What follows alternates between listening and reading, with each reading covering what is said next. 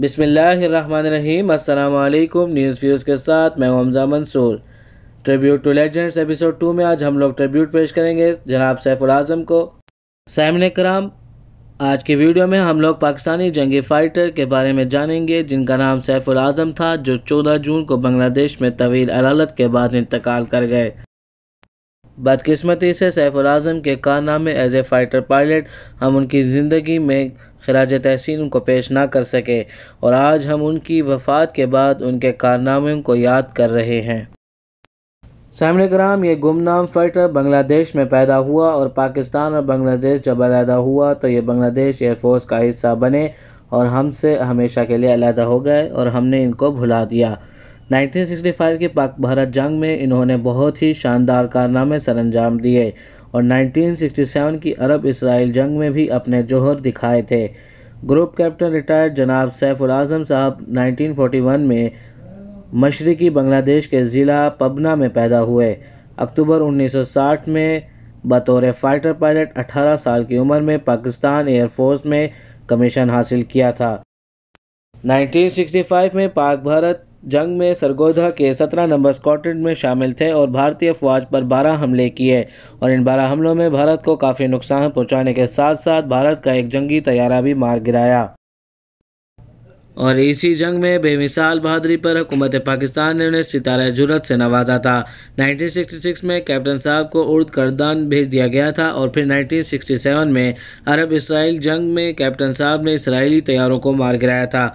उर्दन की मुफर्रक एयरबेस की तरफ़ बढ़ते हुए इसराइली तैयारों को मार गिराया और यह बेस उस वक्त उर्दन के लिए इंतहाई कीमती थी, क्योंकि एक तो उर्दन की एयरफोर्स बहुत छोटी थी और उसमें कोई जान ना थी और अगर इसराइल तैयारे इस बेस पर बमबारी कर देते और बमबारी कर देते तो ये बेस तबाह हो जाती और उर्दून का नाम निशान ही मिट सकता था। और जब ये जिम्मेवारी कैप्टन रिटायर्ड साहब को दी गई तो आपने इसका हक अदा करते हुए इसराइली दो तैयारे मार गिराए और फिर कुछ दिन के बाद इराक में भेज दिया गया। उधर भी आपने दो इसराइली तैयारे मार गिराए कुल चार इसराइली तैयारे तबाह किए और उस वक्त सैफुल आज़म की उम्र सिर्फ़ 25 साल थी। उर्दून और इराक ने सैफुल आज़म को उनकी बहादुरी पर फौज एजाज़ात से नवाजा, जबकि अमेरिका ने 2001 में उनको दुनिया के बेहतरीन फाइटर में शामिल करते हुए उन्हें लिविंग ईगल का खिताब दिया, जिसका मतलब हमेशा ज़िंदा रहने वाला एक उकाब है। और अमेरिका ने अब तक ये 22 लोगों को ये खिताब दिया है, जिनमें से एक सैफुल आज़म साहब हैं। सामने कराम 1971 में जब बांग्लादेश अलहदा हुआ तो सैफुल आज़म पाकिस्तान एयरफोर्स से बांग्लादेश एयरफोर्स का हिस्सा बन गए और बांग्लादेश में रह गए। 1960 से लेकर 1971 तक पाकिस्तान एयरफोर्स और फिर 1971 से लेकर 1980 तक तकरीबन बांग्लादेश एयरफोर्स में खिदमत सर अंजाम देते रहे। एयरफोर्स से रिटायर होकर सिविल सर्विस में आए, फिर पॉलिटिक्स में आए और 1991 से लेकर 1996 तक बांग्लादेश पार्लियामेंट का हिस्सा भी रहे।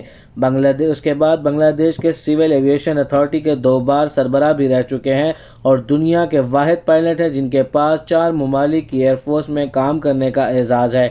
बांग्लादेश, पाकिस्तान, इराक और उर्दन सामने कराम बांग्लादेश एयरफोर्स में मिग 21 जंगी जहाज़ मुतारफ़ कराया गया तो सैफुल आज़म साहब ने ही इन जंगी जहाज़ को उड़ाने के लिए पहली खेप तैयार की। ढाका के सी एम एच हॉस्पिटल में एडमिट थे, जहाँ आपने 80 साल की उम्र में 14 जून को इंतकाल किया।